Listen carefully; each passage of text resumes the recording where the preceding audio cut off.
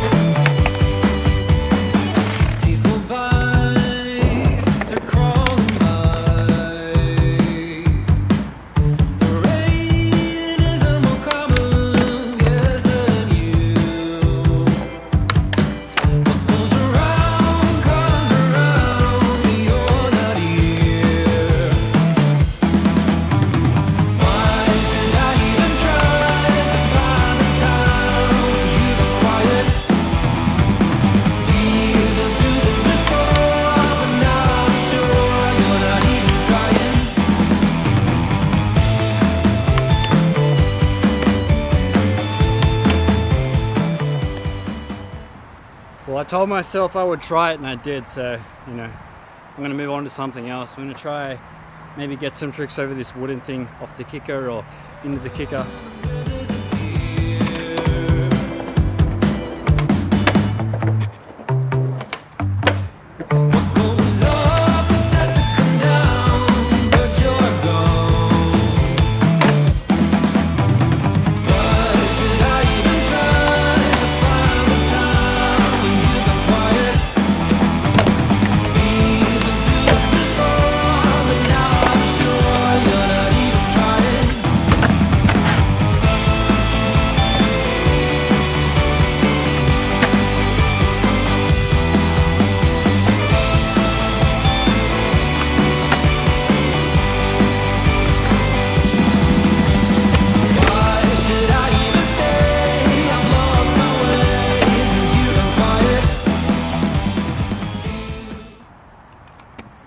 Coppers just rolled in, I might be getting the boot.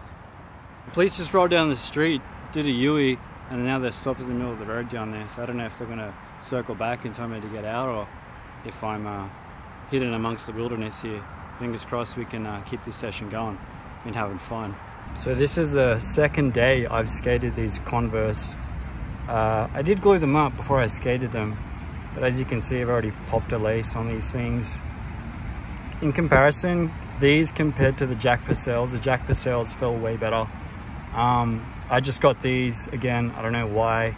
It's just harder to find the Jack Purcells now. I don't think they make them anymore, but honestly, like I'd prefer Jack Purcells over these, but I'm just gonna skate these until they get all flat and mushy, then I can't skate them again. Comment down below if you want a review on how these skate.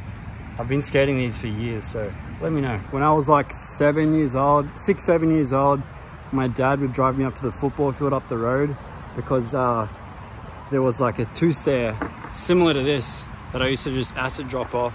There was a two stair and then there was like a one stair. So there's a two stair here, right there, and then there's a little curb to drop off here. The skating a little two-stair again is kind of bringing me back to uh, that nostalgic feeling. Literally just doing this. It was a two-stair and I couldn't ollie yet, so I'll just go, I wouldn't hit the bottom step, and then there was a one-stair, so I'll just kind of acid drop off it. As you can see, this spot has a lot of potential. I mean, even with this here and then this, it's already fun. I reckon some transition here up to the wall would be sick. So at Zach Dowdy, I'm talking to you, my friend. We should get one of those pre, uh, pre-poured little pieces of transition you can just install and skate. That'd be dope. A baby hubba would be really cool here, like on this side here maybe. So you can like hit it from here to there. I'm not too sure how to build a hubba, but um, it'd be dope.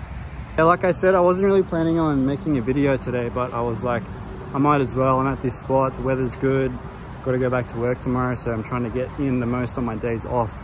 So then I got more videos to upload for you guys. Really trying to get to 25K on YouTube. So shouts out to all the new subscribers and uh, shouts out to the day one. So if you're new here, make sure you subscribe. Help me get to that 25K road mile, road mark. I don't know what you would call it. Also, I've been skating this FA board. It's a Kevin Bradley Pro model. Um, the graphics kind of already gone, but I've got the evening grip on it and uh, it's sick.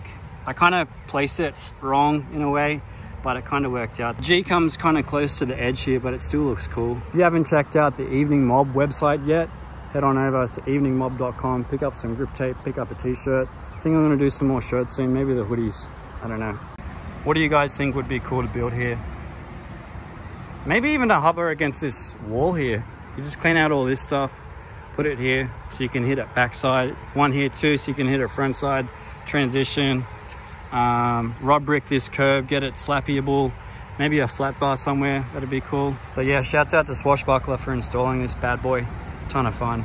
I tried to get a feeble on it, I was just scared. Same with the backside 50-50, maybe one day. I often think that when I'm by myself trying to make a video, it's a bit less punchy, I guess, because it's just a camera on a tripod type of thing. Like I don't have another person with me skating and filming. But uh, let me know if you guys like these kind of videos. Someone mentioned one time, I can't remember whose video it was on, but they mentioned the old tripod.